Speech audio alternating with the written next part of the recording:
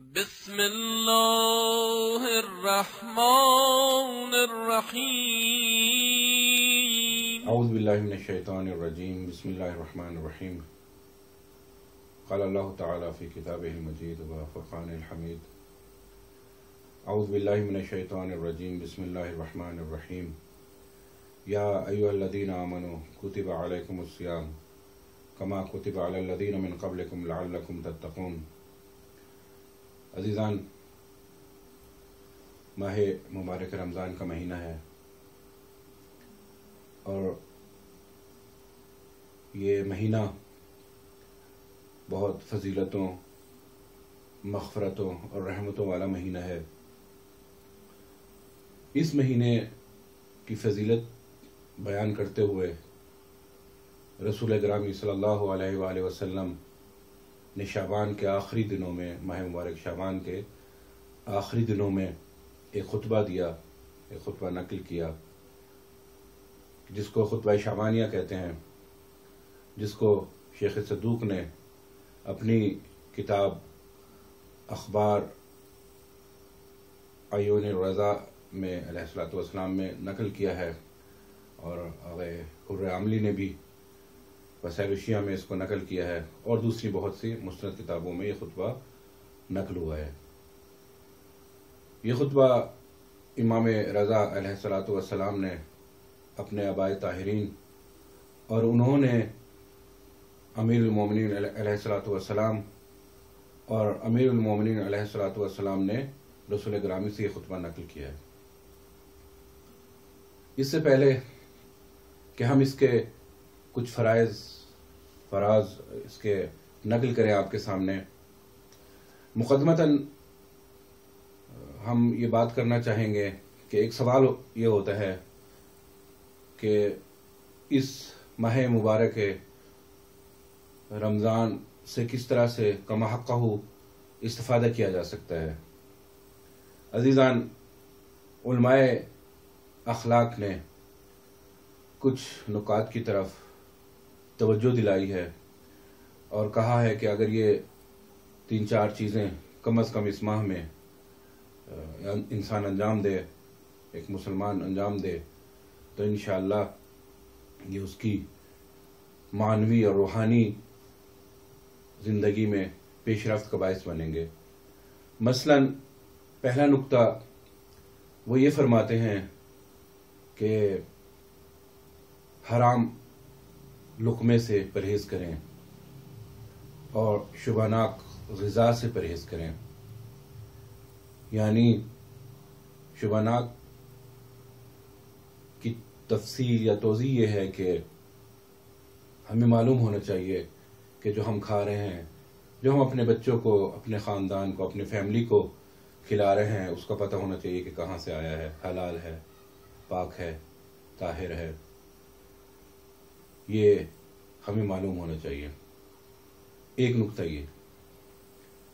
दूसरा, इस माह मुबारक से सही तरीके से इस्तफादा करने के लिए जो नुकता बताया गया है उलमा अखलाक ने, वो ये कहा गया है कि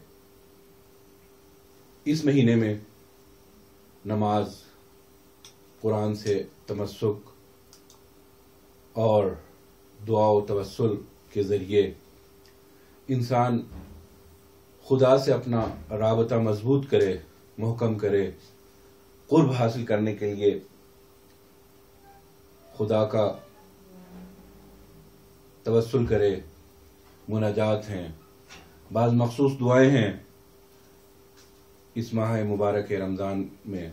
मसला दुआ इफ्तः है और दुआएँ हैं खुद सहरी की दुआ है जैसे या खुद उसने दुआ, अहद और इमाम ज़माना से अपना रबता महकम करे। तीसरी चीज़ जो कहा गया है, वो ये है कि इंसान को सादा जीस्त होना चाहिए। वैसे तो पूरा साल ही इंसान सादा ज़िंदगी बसर करे, सादगी अपनाए, जैसा कि आयमा का भी शेवा था। लेकिन ये जो महीना है, खसूसन, जिसको इसी खुतब शाबानिया में खुदा रसूल खुदा ने शाहरुल्लाह कहा है, यानी खुदा का महीना, इसमें हमें अपनी ज़िंदगी, अपनी तर्ज ज़िंदगी को वैसे ही बनाना चाहिए कि जैसे आयमा हमसे चाहते हैं। सादा जीत से एक फ़ायदा सबसे ये होगा कि हम जब कनात करेंगे, जब सादा गज़ा हमारी होगी, सादा लिबास होगा तो अगर उससे कुछ बच जाए तो हम अपने अड़ोस पड़ोस में, अपने इर्द गिर्द में देखें कि कितने लोग ऐसे होते हैं कि जो मोहताज होते हैं, जो फ़ुकरा होते हैं, मसाकिन होते हैं, जिनको शायद एक वक्त का खाना भी मैसर नहीं होता। तो हम इस सादा ज़िंदगी से, अपनी ज़िंदगी से बचाकर बहुत ही आबरमंदाना, ताकि उनकी इज़्ज़त नफ्स भी मजरू ना हो, उन तक पहुँचाएँ, मख्फियाना पहुँचाएँ। कुछ लोग सफ़ेद पोश होते हैं जो किसी के आगे हाथ नहीं फैलाते, लेकिन बहरहाल एक माशरती ज़िंदगी है, एक इंसानी माशरा है कि उनको ये बुनियादी चीज़ों की ज़रूरत होती है। उसका हमें इज्तमाही तौर पर ख्याल रखना चाहिए। ये चार चीज़ें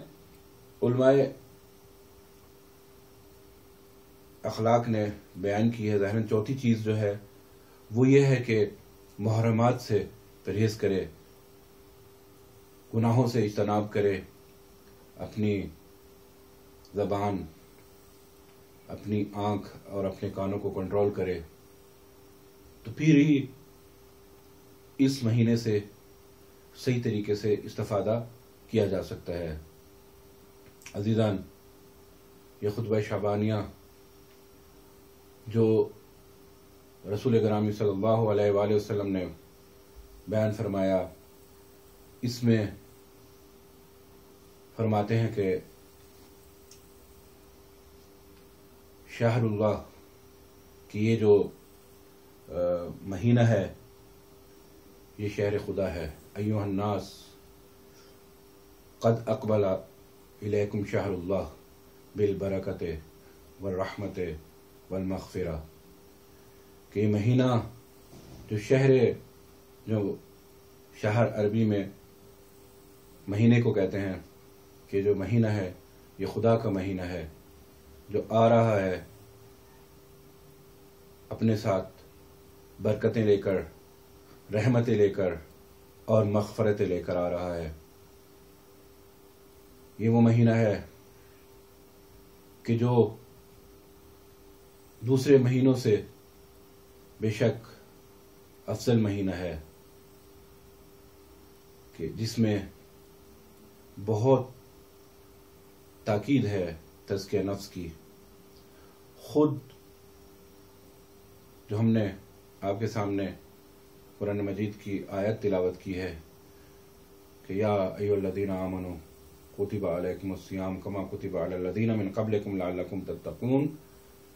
उस, इसका फलसफा भी यही है कि इंसान इस माह से सही तरीके से इस्तेफादा करे और जो हमसे मतलूब है, वो ये है कि तकवा इख्तियार करें, परहेजगार बने।